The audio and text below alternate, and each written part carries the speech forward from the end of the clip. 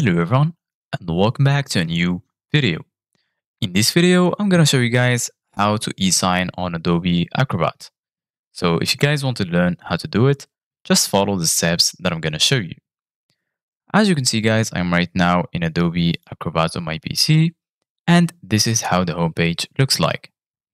So right here, we have the recommended tools. And if you want to see all of the tools, click on see all tools and right here you're going to find all of the available tools. And right here you're going to find work with the PDF right now. You can click on open a file and then you can choose any PDF right here to work with it. From here you can set Adobe Acrobat as your default reader.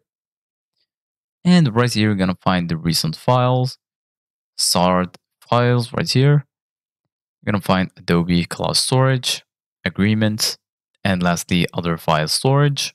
You can add the file storage from here. Basically, guys, in order to e-sign a file, go ahead and click on the file that you want.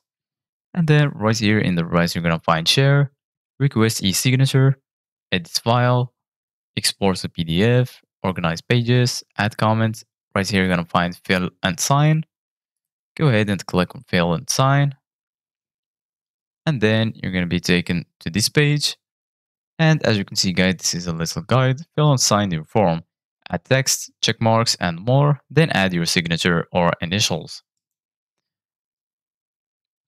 So right now we're going to click right here and add the signature. For example, this one, or you can draw any signature that you want.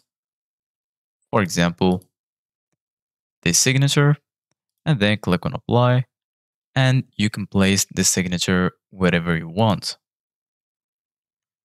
Thank you guys for watching. See you guys in the next video.